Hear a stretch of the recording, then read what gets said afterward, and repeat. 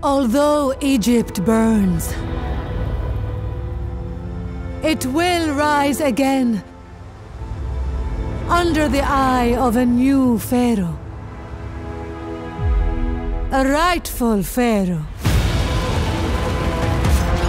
Egypt will no longer be led by short-sighted locusts, determined only to chase satiation.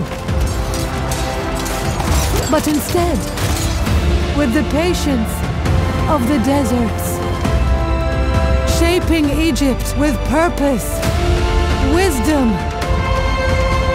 and conviction.